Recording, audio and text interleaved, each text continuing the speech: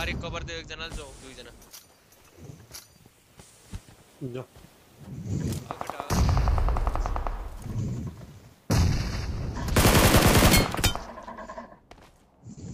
भित्र घुस सँगसँगै